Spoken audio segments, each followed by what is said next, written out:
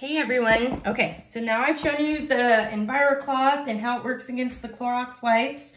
Um, I wanted to show you another product that comes in the Safe Haven 5 package, which is basically the EnviroCloth, the window cloth, the dusting mitt, laundry detergent, and the cleaning paste. All the five necessities to get you started with a Norwex clean. So what I did was I took everything off of my mop. This is my mop. And this um, literally picks up everything as well. It's got the finer microfiber.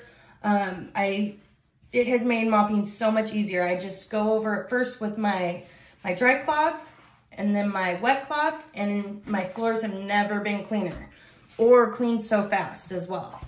But what I did was I took a little bit of the mop and I went over my floors and now I'm gonna show you how it cleans this. This was all that was in my dry cloth when I went through my things. And so I'm gonna take this. This works off of static electricity.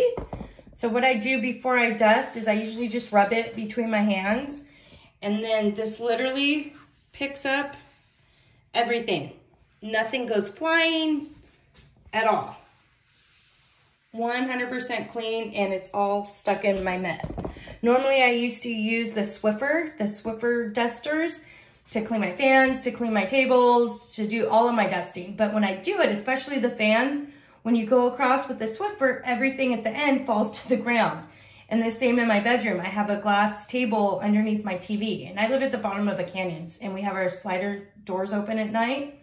So my room gets very, very dusty and the dust on that in one week's time can get that thick. But what happens is with the Swiffer, I would dust it and it would all fall to the ground. Then I'm having to vacuum and then my allergies are acting up.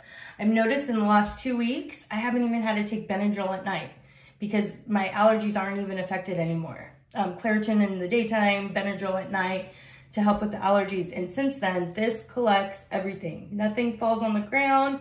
It's all stuck in here. So this is another one of my favorite, favorite products is the dusting mitt.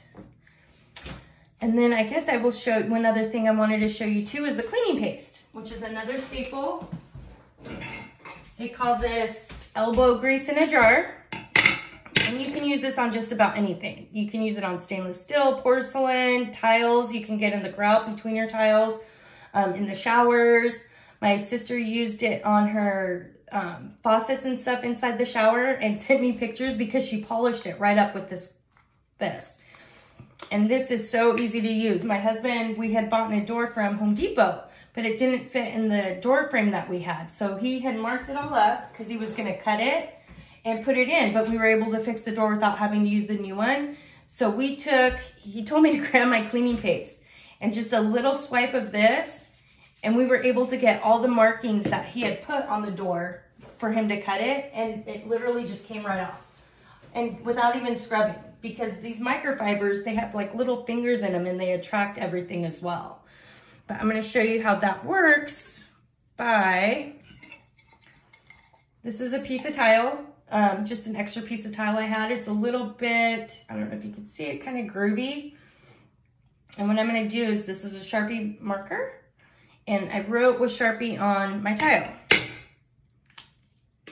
I'm telling you guys a little bit of this goes a long way. I've had this since July and I've used it a lot and you can see how much is still left in there in the jar. The woman who introduced me to Norwex has had hers for two years and still has some left.